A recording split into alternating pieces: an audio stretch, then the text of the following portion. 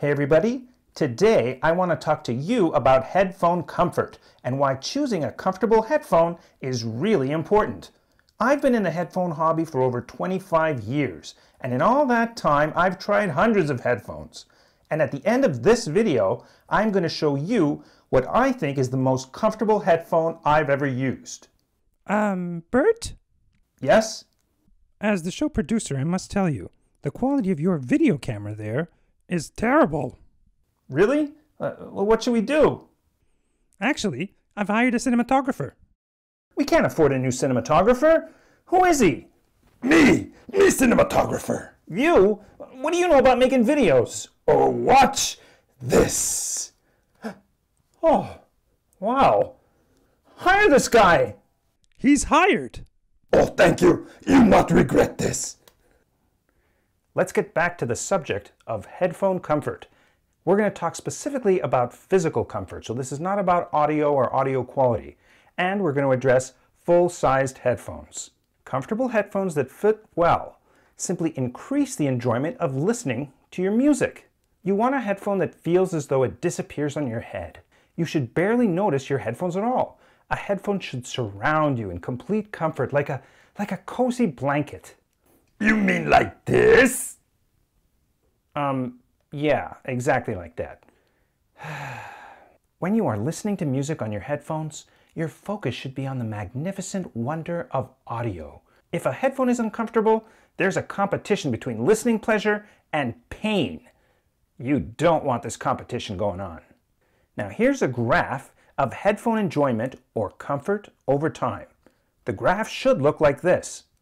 Enjoyment or comfort should stay pretty much steady, declining only very slowly over a long period of time. Like the comfortable headphones I am wearing now. Actually, what are you wearing there? Studio monitors? The Sony MDR 7506 studio monitors.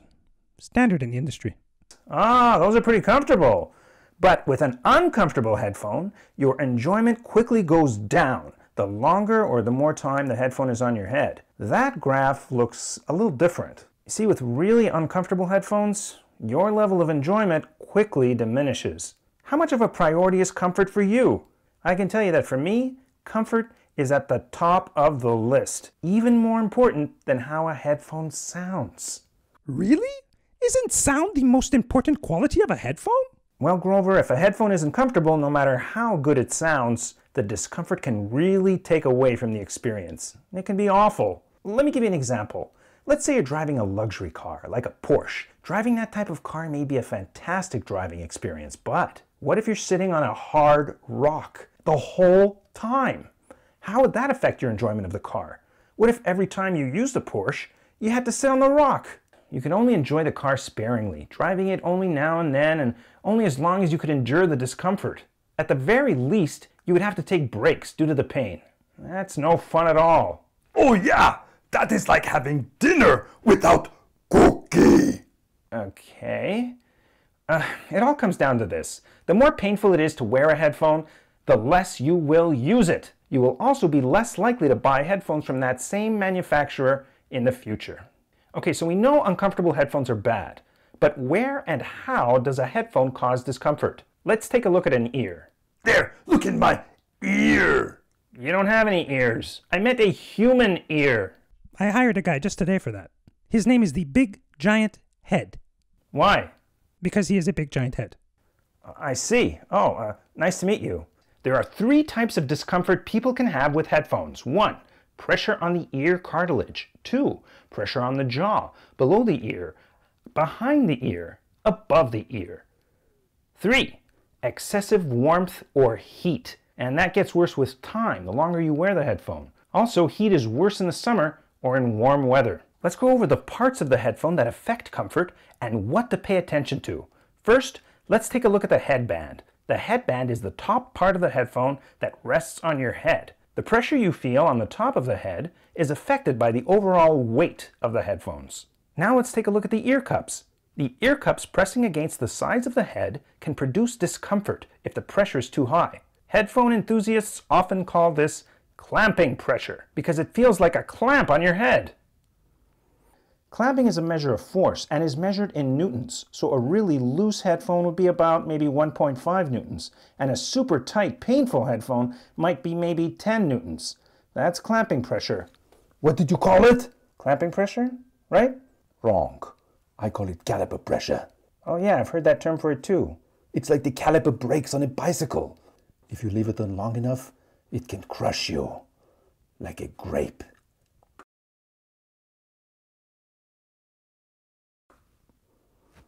Thankfully, clamping pressure on headphones is never quite that bad. But you can't have clamping pressure that is too low either. A tight fit between the headphone and your ear is necessary in order to have what we call passive attenuation. Um, what what is passive attenuation? Passive attenuation is just the ability of the headset to uh, reduce the surrounding noise just by wearing the headphones. So passive attenuation does not use stuff like um, electronic noise reduction. And passive attenuation is measured in decibels. Take, for example, earmuffs used for sound protection. They have what's called passive attenuation. These are 3M Peltor earmuffs used for sound protection.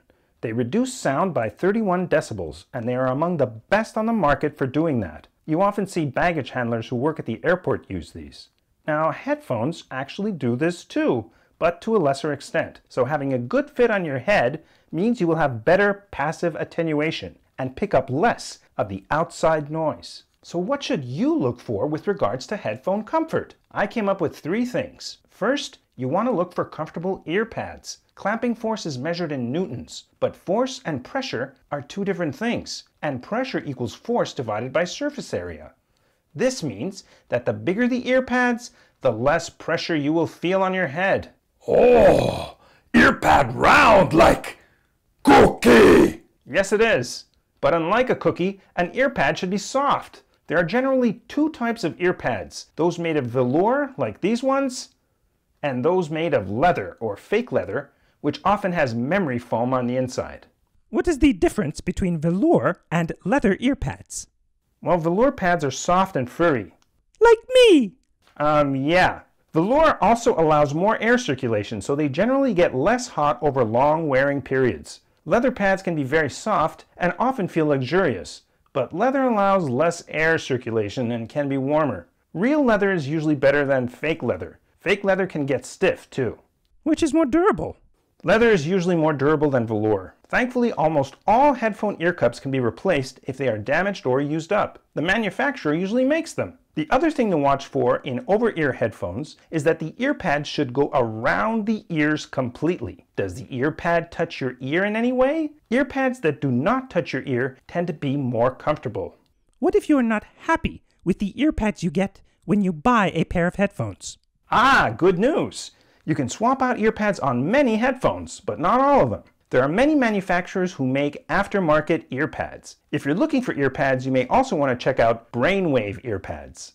Okay, second, the headband needs to be comfortable. It needs to be rigid enough to give you stability and keep the ear pads in correct position over your ears. But it can't be too rigid or apply too much clamping pressure. Wearing headphones should not hurt your head.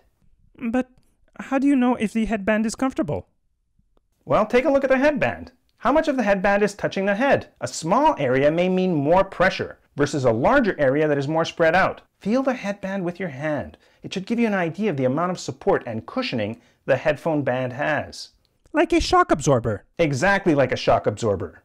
Okay, but what if I already have a headphone I like, but the headband is painful? Or what if the cushion on the headband is worn out? That's exactly what is happening to me right now with my HD800s. Take a look at this headband cushion. It's so thin. I've used these so much over the years that the headband cushion is all worn out. So it's time to throw away those headphones? No! Don't throw away your headphones! You have two options in this case. You can often buy a replacement headband cushion from the manufacturer, or, as a cheaper option, you can use a seatbelt pad. Seatbelt pad? Yep. A seatbelt pad will provide cushioning and spread the weight, but it may make your headphones look a little ugly. The third thing you need to look for is the weight of the headphones. In terms of comfort, lighter is usually better. Weight becomes more important the longer you wear headphones. If you're mixing music or doing video or sound editing for many hours, for example, a heavy headphone can become really uncomfortable. Having said that, build quality is extremely important and in my opinion should not be compromised just to achieve a lower weight. Now, I've tried all sorts of different headphones and weighed them, and in my opinion, anything over 10 ounces or 280 grams is on the heavy side for a full-size headphone. Now I want to reveal the most comfortable headphone I've ever used. Bert, wait! What if you wear glasses? Like me. Ah, thanks for bringing that up. Headphones and eyeglasses do not get along. They are mortal enemies. Headphones can put pressure on glass frames, which can then press against your head and hurt over time. Do you wear glasses? You may want to look for headphones that have reduced clamping pressure. And with glasses, velour pads can be more comfortable than leather. But some headphones are just so comfortable and so well made that even with glasses, you may feel no discomfort at all. Okay already, now get most comfortable headphone.